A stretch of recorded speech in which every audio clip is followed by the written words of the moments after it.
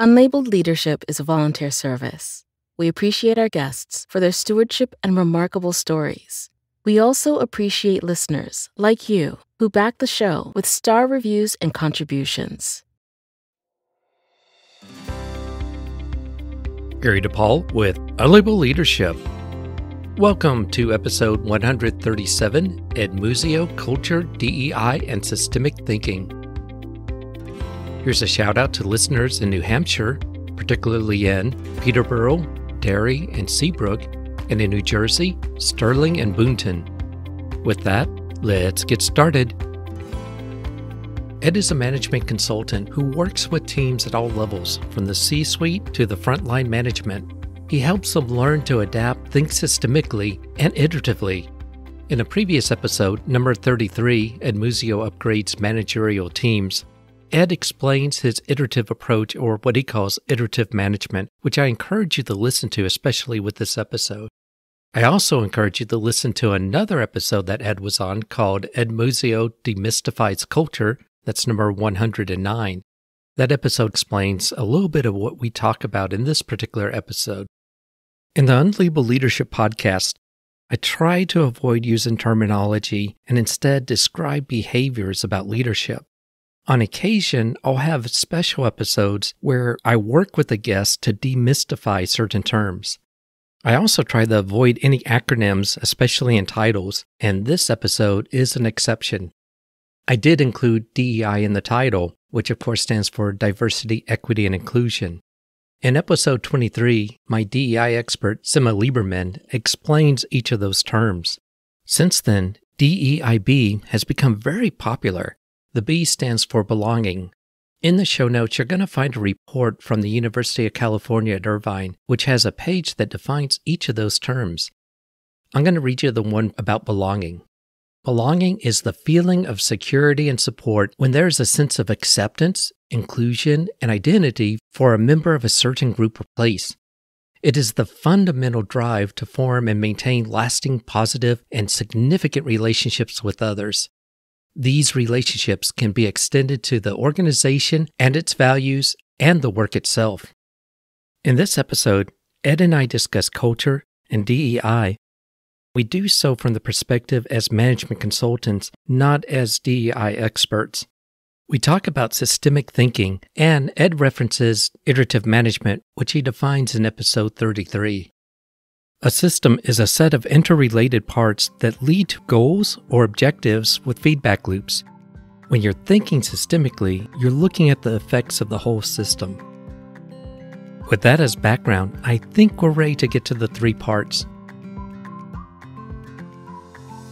Part 1 The Organizational Immune System. It is not easy to change a culture and it's probably a lot harder to get employees to internalize diversity, equity, inclusion, and belonging. I start this part of the episode by sharing an observation that I notice with my colleagues who are DEI professionals. Here is how I start the discussion. I've been noticing on LinkedIn that there's several professionals in DE&I that are expressing frustration with their role and executing their role. It seems that there are organizations that are really beginning to feel the challenge to do DEI projects, but there's some issues about sustainability and there seems to be a struggle about trying to get these types of strategies initiated. I think that's right. I think you and I are noticing the same thing, Gary, which is there was a sort of hill to collectively climb to realize the importance of the E&I work and to realize that it is not a sideline to the rest of what the organization is doing, but it is actually beneficial all around, meaning it's beneficial in sort of quantitative ways to how well the organization performs, and it's beneficial to the sort of values side of things and what the organization is in the world that was a hill to climb. And I think what you're saying is what I'm seeing, which is that as we've collectively climbed that hill, the next hill you see is, oh, doing it is not so easy. And recognizing the importance does not equal doing it. Getting it to happen and getting it to stick is a whole other mountain and probably a much bigger mountain in some ways than, than the recognition one, but it comes second. And I think that's where a lot of those people are. you and I were both in this performance improvement area where we try to help organizations make sustainable changes. There are some systemic things about the organization that actually makes implementations difficult or change difficult. And it's not realized by the people in those organizations. I think that has something to do with the DNI unsustainability. Absolutely you know, I always tell people I'm, when I introduce myself, I'm kind of a weird guy because I'm a guy that will work with an executive team all at once, all together, and we will change the way the company runs in four months. And that's weird. And the way I know how to do that is by recognizing it as systems work. That has some interesting implications. Like your system has an immune system. Like I have an immune system, you have an immune system. I am not consciously aware of my immune system, but it fights certain kinds of changes for me sometimes in ways that are beneficial to me and sometimes not in ways that are beneficial to me. I have a lot of allergies right now, so maybe this is on my mind here in Austin. That's the thing that I think you have to really start paying attention to is what is happening systemically and automatically because all of the intention in the world for me not to sneeze doesn't stop me from having allergies if I can help the system in a way, that might. And that's the same thing in the organization is we have to start looking at what's in place system wide that automatically slows change and also what's in place system wide that in particular gets in the way of this kind of change, which we realize is so important. Then the question comes is that if you're in an organization, you're in an executive role and you invite DEI initiatives, you hire people to drive them, you want the change, you say you're receptive to the change, but the immune system of your organization kicks in. That becomes the challenge. So, what are some of the immunities that come into play? Well, and that's kind of what this whole conversation is about. I think you and I have already had a more general conversation about system change and the immune system and kind of how yeah. you know how the system gets in its own way in some sense, although it's also well designed in some sense. When we're talking about DE&I in particular, I always sort of start with let's think about some things that could be true about an organization that relate to not whether it is good in terms of diversity, equity, and inclusion, but whether it would be receptive to improvements in that space. A simple example imagine two people that are not diverse in this organization and they get into a disagreement about how to proceed. Is that okay? Is that something that, oh, yeah, we tend to disagree and we tend to work it out? Or is that like something that provokes an allergic reaction inside the organization and somebody has to be quiet and stuff it and the other person has more seniority or whatever? That's not a fundamental DE&I issue. It relates to DE&I. You might argue that DE&I helps with that issue, but you can also argue that working on that issue would help an organization become more receptive to DE&I as a whole. And that's kind of where I think this conversation goes is what are the aspects of the organization and we'll talk about a couple of them here but you know what are the aspects of the organization that you could look at and say this will tend to help or hurt any efforts we make in the DE&I direction I think back on Judy Hale's podcast episode where she talked about the man in the brown suit. This was decades ago with her father. And she explains in one of the parts of the episode that her father will walk into a room, have executives there. They're all wearing black suits or blue suits with black ties except for one person wearing a brown suit. And her father would gravitate to the person in the brown suit because that's the person who's different, who's willing to listen and accept new ideas. One of the things that comes up with organizations is how receptive are they really about new ideas? Do you have a situation where you actually mentioned this in the white paper you wrote on this that you could have a project moving forward things are going wrong, but people are afraid to raise it because it's a career limiting move. Exactly. And that's one of the two areas I talk about in the white paper is, and we should make that available to your listeners for sure, is environmental receptivity, is what I call it, which is exactly what you're talking about. It's sort of the extent to which the organization has a culture that says, you know, we're going to have some difficult decisions. We're going to have some situations where we have to make a hard trade off. We're going to have some situations where things didn't go as planned in general, when those kinds of things come up, do we hide them and whitewash them and pretend they don't exist and worry about them? Or do we come together and have a meeting and make a concerted effort to kind of pay attention to the different viewpoints around the table and figure out how to work something out and make some decision that is both timely, which means it might not be a full consensus, but also fully informed and fully committed so that it gets deployed in a coordinated way. DE&I relates to that. If it's a Venn diagram, there's overlap, but that's not fundamentally DE&I work, but it sure does make DE&I work more or less sticky. I completely agree. One of the things that you bring up in your white paper is that you would want to welcome respectful disagreement. This reminds me of something that Patrick Lencioni talks about is that you go into a room, you're with the decision makers, everything is transparent, you talk it out, you openly disagree. But once the decision is made, you may respectfully disagree with the decision. But once you walk out, you need to support that decision if you have disharmony in the sense of execution, then you're going to run into sabotage. And that seems to be a, a, norm that some organizations have where we walk out of the room and people go, Oh, this is a terrible idea, but we're doing it anyway. It's not my fault. Come on, guys, let's go ahead and do it, you know? Well, we could do a whole podcast episode about what Lencioni is talking about there, what I talk about as disagree and commit decision making my mentor actually studied under the same people as Lencioni and his mentor. So we're in the same family there. The key thing, you you said it exactly right, which is the decision doesn't count unless it's fully implemented. And you have this really difficult situation where let's say we have a manager who is with his or her team and the whole team knows that manager is going in to propose a certain point of view and that point of view does not get adopted that manager has to come back. And on the one hand, that manager has to say, this is the direction we're going, not this is the direction they're going, but we're not doing it. So mm-hmm. the hmm. manager has to carry the execution and support the execution. On the other hand, if the manager comes back and says, Yep, I drank the Kool Aid, I see it that way, I agree, then he or she will lose credibility with the team because they know how that person was going in. It's not particularly difficult, but it's often conceptualized the wrong way. It has to come back with, We as a management team decided this you all know I would have preferred to go a different way. We in this company win by taking turns doing things we disagree with because coordinated execution is more important than full personal agreement. And it's our turn.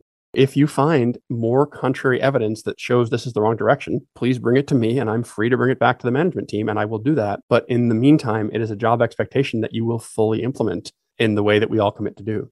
That little sort of compartmentalization of disagree is a thing, commit is a thing, they can happen simultaneously is super important to management decision making in my body of work as you can imagine, it's also pretty important and useful when you start talking about diversity, equity, and inclusion, because that's the way you can reconcile different points of view, different data sets, different life experiences, different recommendations in such a way that, yeah, we're going to pick one. And it's not always going to be the one everybody wants because everybody wants different things. But it's okay. The differences are still okay and they still exist and they still support us in a broader sense. And we welcome that.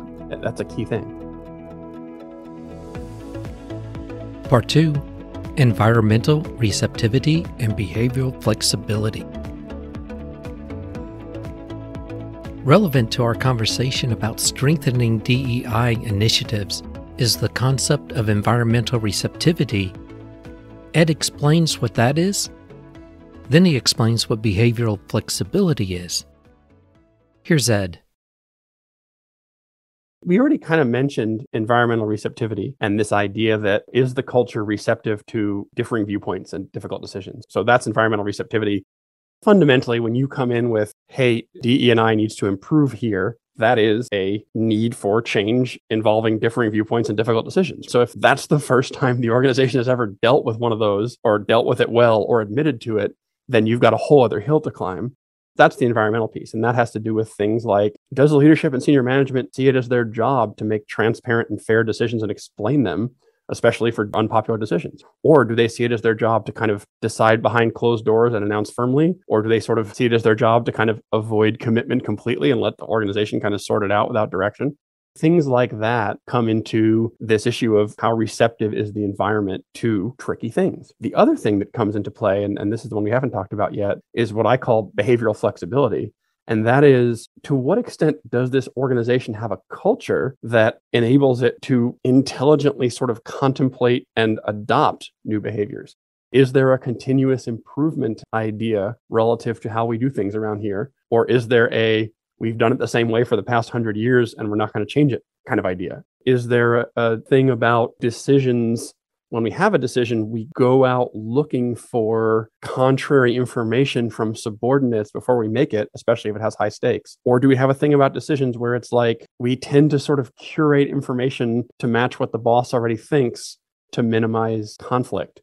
you know you could look at that as a DE&I thing, but you could also look at it as just a, a room full of undiverse people with poor DE&I could still handle decisions in either of those two ways. And if they handle them in the in the way that provokes less intelligent change or no change, then DEI is going to have a hard time getting traction because the system like we talked about before, is not equipped or enabled or geared up for those kind of things to happen in terms of change.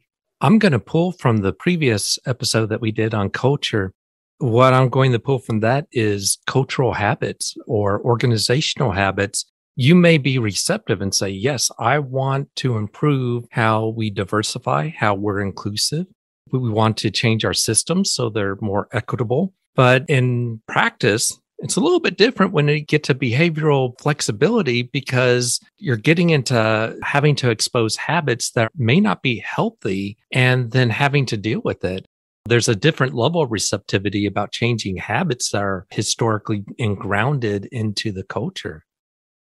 Absolutely. Have we changed habits before? When a change in behavior is needed, maybe we had a situation a number of years ago where we had to change something big, like what market we're in, or even something small, like, I don't know, our people management software, you know, our, our performance evaluation software. What happens? Do people sort of, yeah, people have hesitancy about change, of course.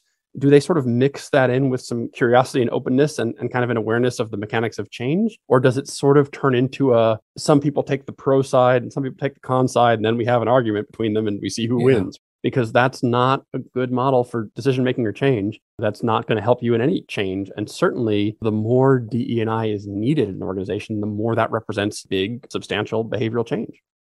DE&I could be an opportunity to making explicit what those habits are and really scrutinize are these particular habits beneficial for the organization there's some comfort because we keep doing it, but is it really best for the organization to do it?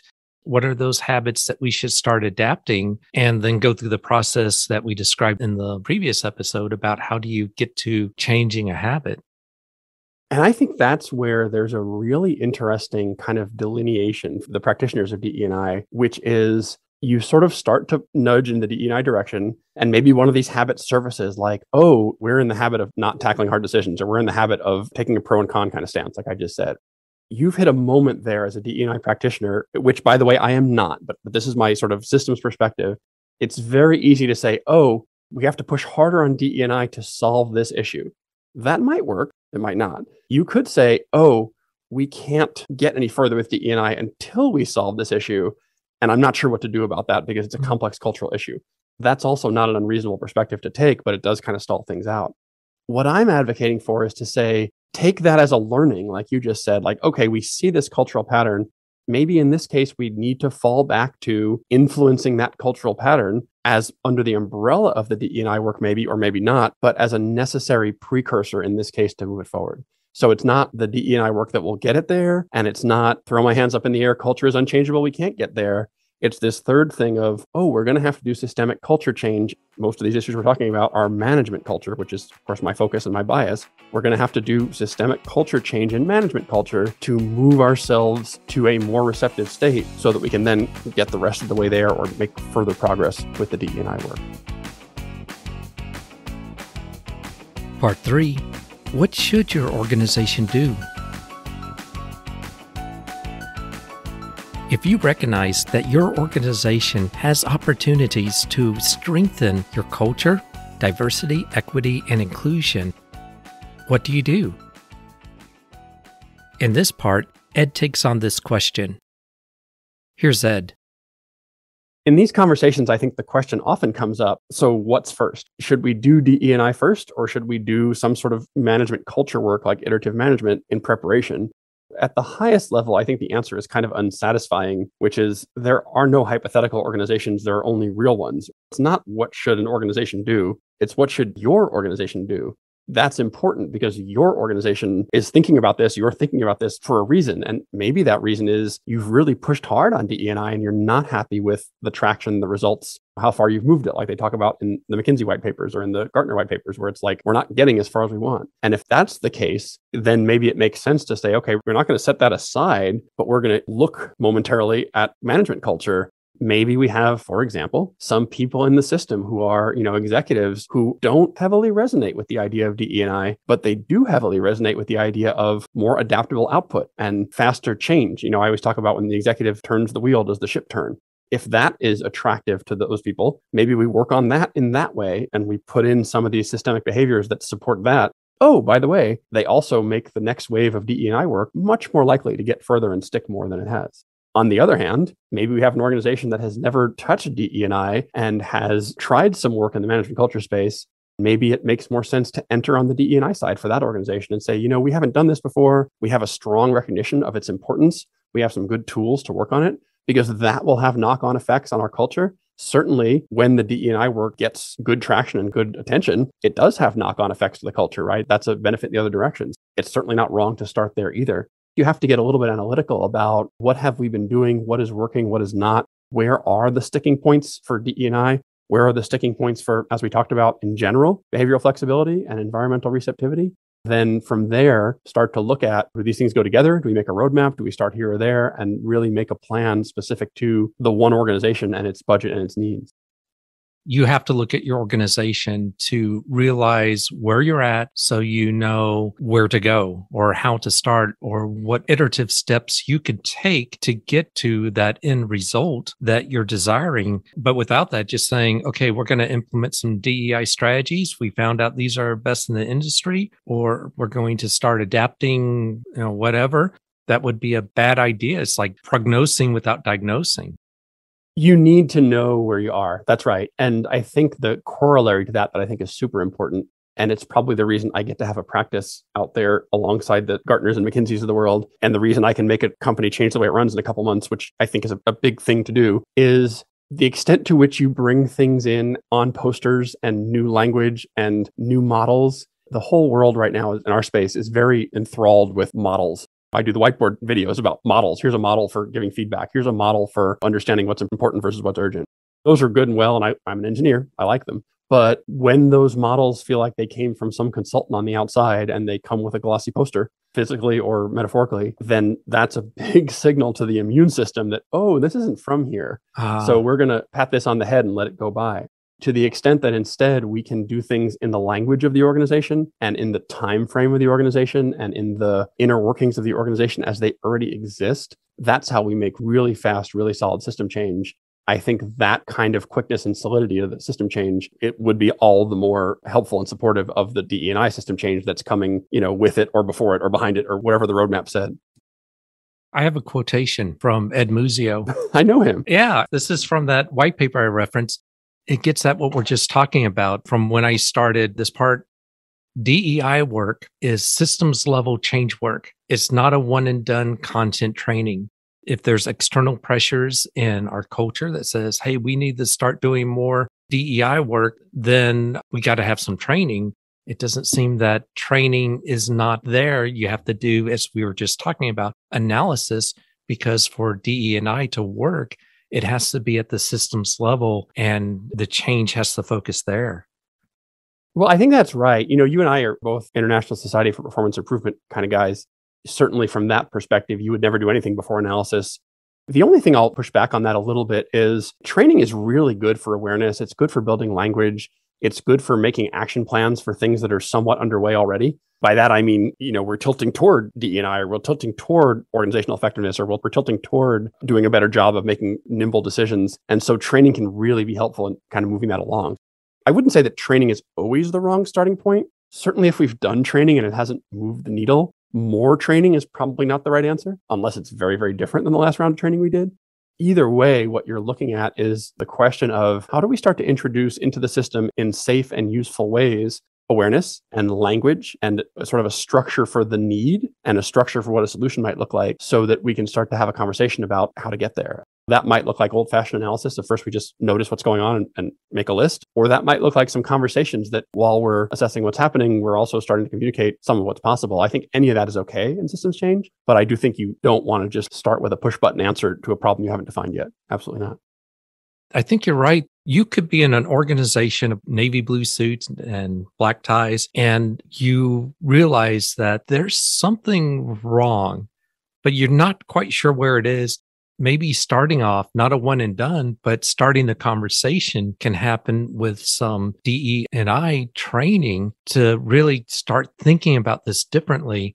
That may open up analysis just from the training itself. That's right. I think that usually, if you're having a conversation, there is a need. If your conversation can start to help uncover that need and at the same time provide some language and structure for talking about that need, I think those tend to be very rich conversations. I think if the conversation is more sort of traditional salesy in nature, in the sense that it's a set of solutions looking for a problem, sometimes they still match up and that's great. But I think that it's a little more challenging when you're talking about things that, as you said, are sort of hard for the person with the problem to articulate.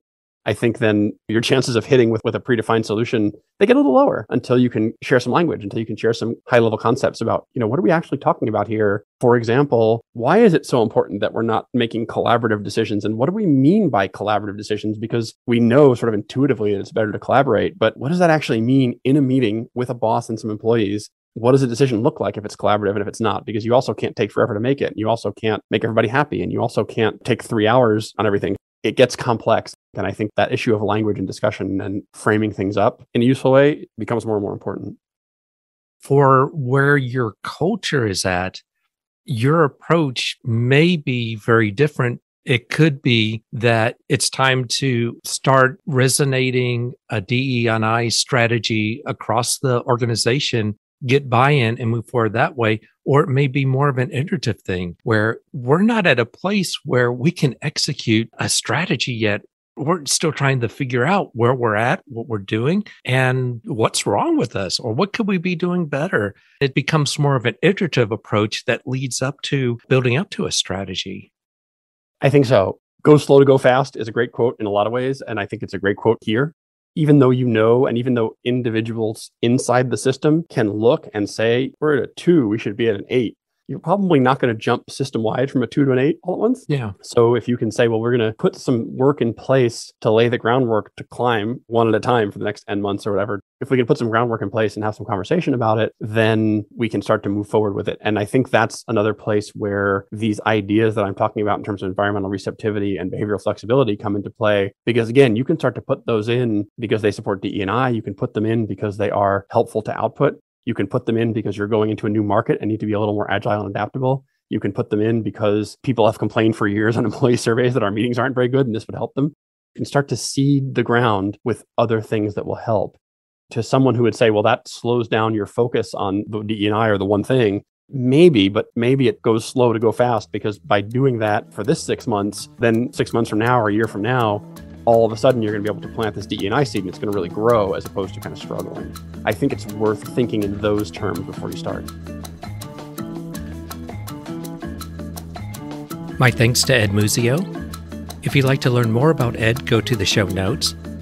And if you have a question or comment, go to unlabelleadership.com, click the message icon, and leave a voicemail message for up to one minute. I'd like to thank those who contribute to the show your donations makes a difference because this is an all volunteer service. I'd like to thank you for listening. This is Gary DePaul. Until next time, lead on.